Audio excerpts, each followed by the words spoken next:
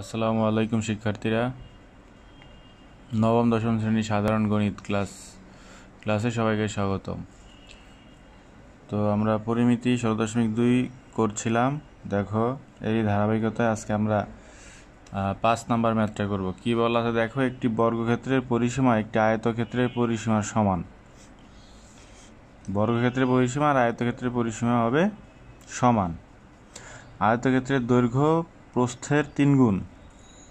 আর ক্ষেত্রফল হবে সাতশো আটষট্টি। তাহলে দেখো, এখান থেকে কিন্তু আমরা আয়তক্ষেত্রের দৈর্ঘ্য প্রস্থ বের করতে পারব, পরিসীমা বের করতে পারব। ওই পরিসীমাটাই হবে বর্গের পরিসীমার সমান। প্রতিটি ফর্টি সেন্টিমিটার বর্গাকার পাথর দিয়ে বর্গক্ষেত্রটি বাঁধতে মোট কতটি পাথর লাগবে? তো আমরা আয়তক্ষেত্রের দৈর্ঘ্য প্রস্থ ধরে শুরু করি, পরিসীমা বের করব। তারপরে সেটা হবে বর্গের পরিসীমা। বর্গের পরিসীমাকে আমরা বর্গের বাহুর দৈর্ঘ্যে নিয়ে যাব। তারপরে সেই বর্গের ক্ষেত্রফলটা বের করব আমরা। তো তারপরে দেখো আমাদের এই যে পাথরের ক্ষেত্রফল বের করে দুই ক্ষেত্রফল ভাগ দিলেই আমাদের মোট পাথর সংখ্যা চলে আসবে। তো আমরা শুরু করি। তাহলে প্রথমে দেখো আমরা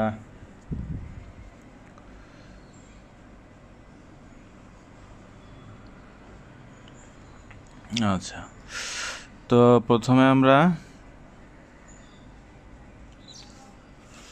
আয়তক্ষেত্রের দৈর্ঘ্য প্রস্থ ধরে নেব। তাহলে মনে করি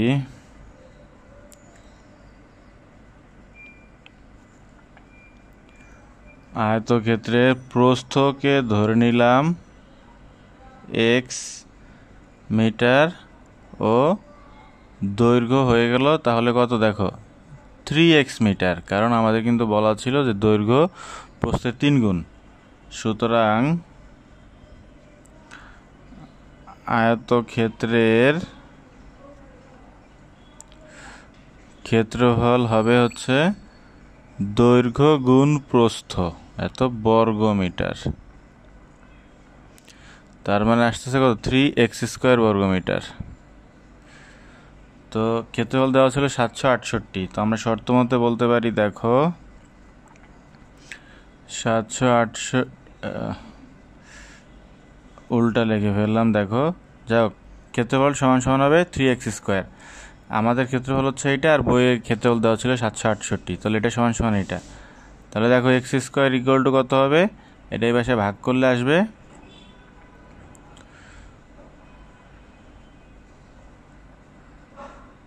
দুশো ছাপ্পান্ন।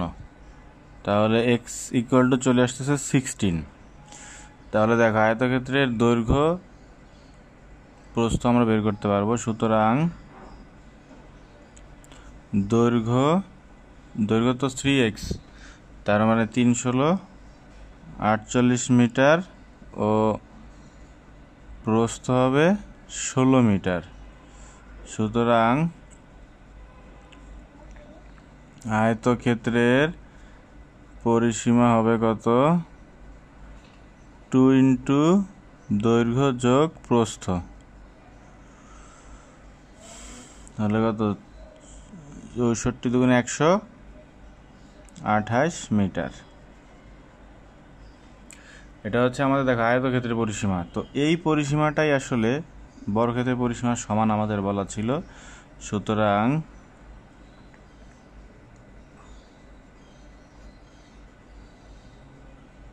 বর্গক্ষেত্রের পরিসীমা কত? একশো আঠাশ মিটার। সুতরাং বর্গক্ষেত্রের প্রতি বাহু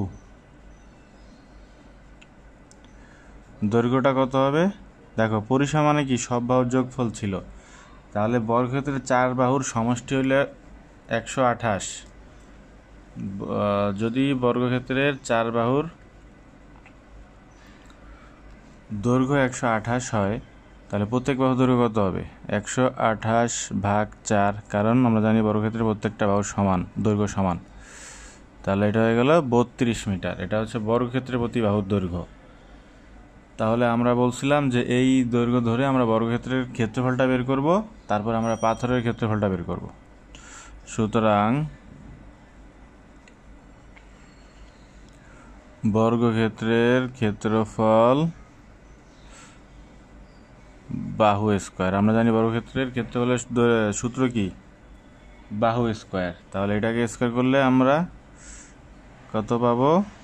এক হাজার চব্বিশ। বর্গ মিটার এবার আমরা পাথরের, দেখো পাথরের বাহু দৈর্ঘ্য দেওয়া ছিল হচ্ছে চল্লিশ সেন্টিমিটার। তো ওইটাকে আমাদের নিয়ে আসতে হবে মিটারে। এরপরে আমরা লিখি যে বর্গাকার পাথরের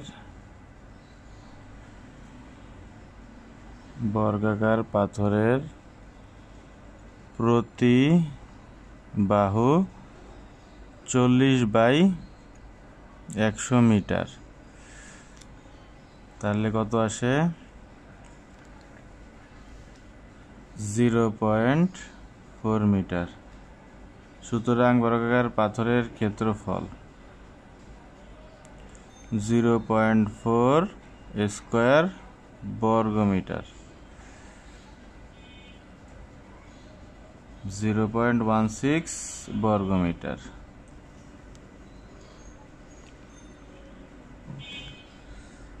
আচ্ছা তাহলে দেখো আমরা বর্গাকার ক্ষেত্রের ক্ষেত্রফলটা পেলাম হচ্ছে এক হাজার চব্বিশ, পাথরের হচ্ছে এত। তাহলে সুতরাং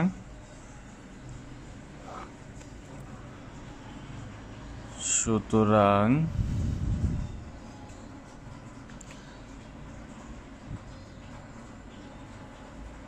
পাথর লাগবে, সমান হচ্ছে এক হাজার চব্বিশ ডিভাইডেড জিরো দশমিক এত টি।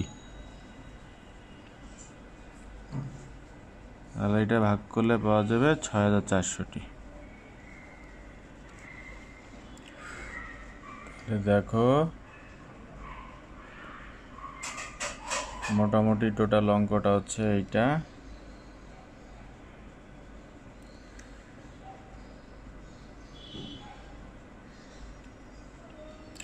আশা করি সবাই বুঝতে পেরেছ। এরপরে দেখো আমরা পরবর্তী ম্যাচটা যদি করতে যাই। ছয় নম্বর ম্যাচে দেখো কি বলা আছে, একটি আয়তাকার ক্ষেত্রের ক্ষেত্রফল ওয়ান সিক্সটি দৈর্ঘ্য সিক্স মিটার কম হলে ক্ষেত্রটি বর্গাকার হবে। আয়তক্ষেত্রের দৈর্ঘ্য প্রস্থ নির্ণয় কর। তো চলো শুরু করি আমরা।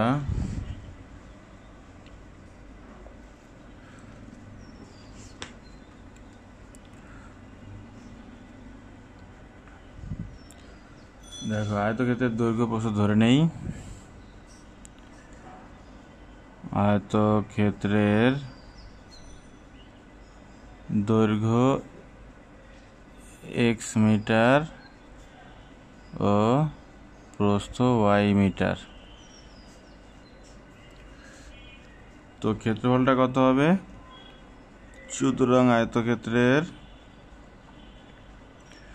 ক্ষেত্রফল হবে এক্স ওয়াই বর্গ মিটার তো শর্ত মতে দেখো আমরা এটাই বলতে পারি। শর্ত মতে এক্স ওয়াই ইকুয়াল টু একশো ষাট ক্ষেত্রফল ছিল একশো ষাট। আরেকবার মনে করো এটাকে এক নং দিলাম।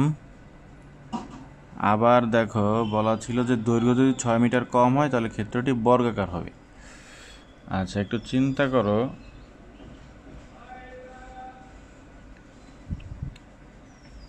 মনে করো দৈর্ঘ্য প্রস্থ আছে। দৈর্ঘ্য তো এইটা আর প্রস্থ হচ্ছে এটা। তো যদি এখানে বলি যে দৈর্ঘ্যটা কি একটু কম হলে সেটা বর্গাকার হবে। তো চিন্তা করো যদি একটু মনে করো আমরা কমাই দিয়ে বলি যে এই অংশটা বর্গাকার, তার মানে কি? তার মানে তখন বর্গ আকার তার মানে হচ্ছে চার বাহু সমান হবে তখন। তার মানে এইটাই যে দৈর্ঘ্য থেকে যদি আমরা ওই অংশটা কমাই দিই, তাহলে সেটা তার অপর বাহুর সমান হবে। তো এইখানে আমরা এটাই বলতে পারি যে দৈর্ঘ্য যদি সিক্স মিটার কম হয়, মনে করো দৈর্ঘ্য আমরা সিক্স মিটার কমাই দিলাম। যা ছিল এক্স ছিল, এখান থেকে সিক্স মিটার কমাই দিলে সেটা হবে বর্গাকার, তার মানে সেটা অপর বাহু সমান হবে। অপর বাহু কত ছিল? ওয়াই সুতরাং মনে করো ওয়াই সমান সমান এক্স মাইনাস সিক্স এই মানটা নিয়ে আমরা এই এক নঙে বসাই। তাহলে এক নং থেকে আমরা কি পাবো? X into x minus six সমান ওয়ান সিক্সটি তো আমরা এখানে একটু গুণ করি x square minus six x minus one sixty equal to zero তো এখন আমরা এটাকে মিডল টার্ম করব। X square minus sixteen x plus ten x minus one sixty equal to zero. X common নিলে x minus sixteen plus ten common নিলে x minus sixteen. তাহলে x minus sixteen into x plus ten equal to zero. সুতরাং x minus sixteen equal to zero অথবা x plus ten equal to zero এখান থেকে x equal to minus ten এখান থেকে x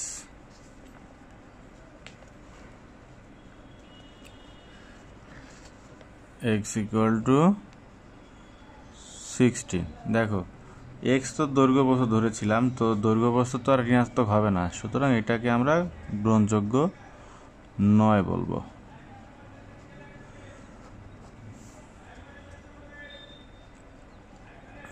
তো x যদি sixteen হয়, এক্স যদি সিক্সটিন হয়, দেখো দুই নংয়ে ওয়াই এর মানটা আমরা পেয়ে যাই।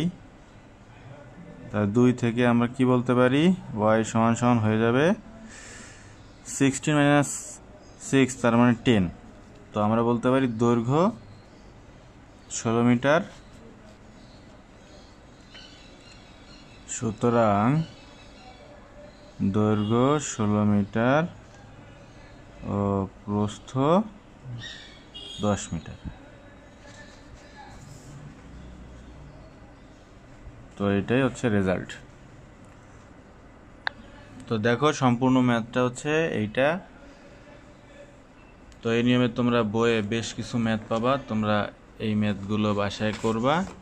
আর যদি কোনো সমস্যা হয়, তো আমাকে জানাবা। পরবর্তীতে আমরা আরও ম্যাথ করব। তো আজকে এই পর্যন্তই, ধন্যবাদ সবাইকে।